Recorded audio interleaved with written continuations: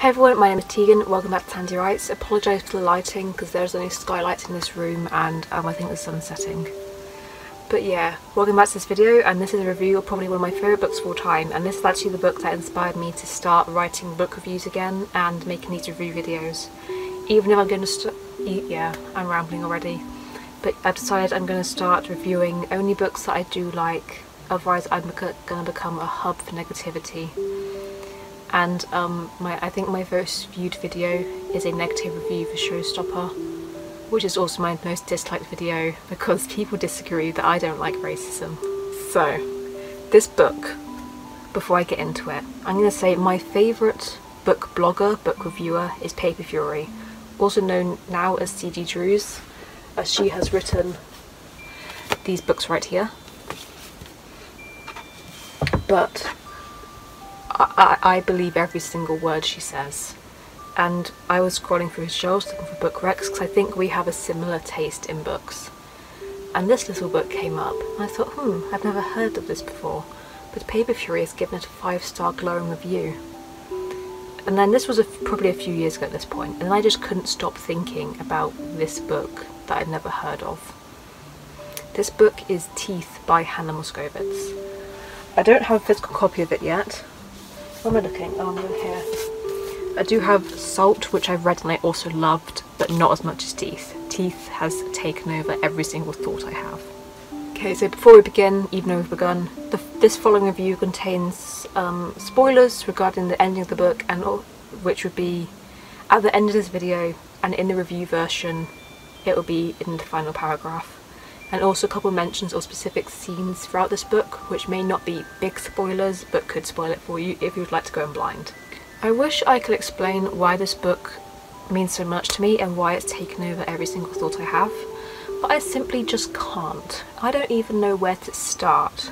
Like when I was writing this review, I was just sat there in my empty Word doc just thinking, what, why, what even just happened?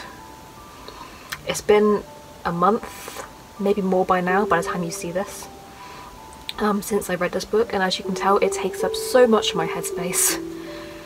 So I'm going to tell you a bit about it. If you read the blog version, which I will have linked in the description, you'll see a couple of my favourite quotes just in, interspersed with the review. But we're just going to go straight in with this. So, plot. I'm going to say I think this book might be British, but I, I, I can't tell for certain. It gives me British vibes.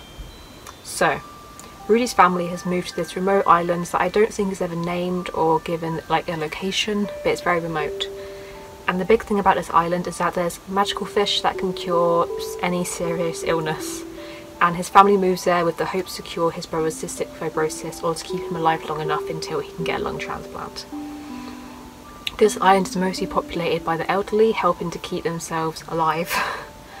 so Rudy is the only teenager on this island, so he is like completely bored and lonely until he meets Teeth. and they start a very tentative friendship. And I love this because in the book, usually when mermaid characters are described, they're beautiful. But Teeth is described as the ugliest bastard to ever exist. And he is half human, half fish. Not quite a mermaid. Not quite a merman. Literally top half human, bottom half fish. He has human lungs, so he can't like breathe underwater properly. He can't swim very good. I love this like useless fish boy so much. So this Rudy and Teeth friendship is like completely flawed and dysfunctional because they both kind of hate each other. but these characters are so beautifully written and I was just in love with this complexity and this desperation and the charm. I didn't think I could describe Teeth as charming but he kind of is in this very endearing, naive little way. And there's a lot I want to say about him, which would be a probably a big spoiler or completely irrelevant to the review itself. It would just be me rambling about how much I love Fish Boy for 10 minutes straight. And there are some moments where I was having doubts about the story, like was it too dark, too depressing, too sad? But then Rudy and Teeth just stole my entire heart, and I did not need to suspend my disbelief in Moskowitz's ability for just even a moment. and this book has made its way onto my favourites of all time list. And I'm going to say a lot of things about this book seem to have a fan fiction quality, which I think is why I like it so much. It's this complete, I think Patrick Ness does it, Neil Gaiman does it. It's this complete like randomness uh, that when you read it you think there's no way this could happen. But they've convinced you and I think that's also a thing that um, I see the most specifically in fan fiction. Which you're gonna have to bear with me for this. But it, it's it's a book that has fan fiction qualities, not in a bad way. It's just it's this disbelief made believable. So I love the setting of this book so much because it reminds me of home. I because I live by the sea. I've lived here my entire life. These descriptions were so incredibly vivid, but it said so much in so few words. They're very sparse but very descriptive imagery. So yeah, I've lived my entire life within a 50 minute drive of the ocean in a small town and surrounded by like these storms and fishing villages and freezing cold salt water. And there was this sense of familiarity that fully brought me into this world that I know so little about, but it's so familiar. And I was just there reading it, and it was almost like I could smell the salt in the air and feel the sea breeze as I turned each page or as I swipe my phone screen. I really need a physical copy of this book just to have and hold and cherish forever. So Teef has a tortured hero complex. As a half fish he feels as he's as if he's got this responsibility to protect all these magical fish from the fishermen and then the fishermen like torture and abuse him for this. And yet he knows this but he keeps going back each time. He's got he's got a saviour complex. He's got a tortured hero complex. And yeah, he does this to have this sense of purpose because he is technically a monster. He can't swim well enough to leave the island, he's just trapped there forever, so I guess it gives him something to do.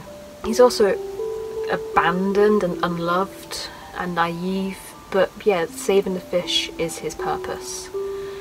And he feels so realistic as a character, and that's a really weird thing to say about a fish boy, but he just feels so real and human. And I just want anyone watching this video to go read this book and meet him and care about him and fall in love with him too. But do be aware with this torture and abuse around his character that there is some graphic content and these scenes may be triggering for some readers. So I said earlier that the Rudy and Teef relationship stole my heart but it just completely broke it too and I have a very complicated relationship with the ending of this book. On one hand the writing is so raw that the ending makes sense because it emphasises all these chapters of brutality and blood and darkness that came throughout this book. So giving it a happy ending wouldn't make sense with all of this building that has come up to the ending. On the other hand, this is where the spoilers are, by, by the way the Rudy and Teef relationship is unfinished, I'd say, because they've spent this entire book growing close to each other, from almost enemies to kind of friends relationship, but they just get like. Personally, my interpretation is that they might have loved each other or been on the verge of that. Like deep, deep, deep down but at the ending they're just torn apart so suddenly that they never reach like the lovers part, the enemies to lovers on page and there's no closure which I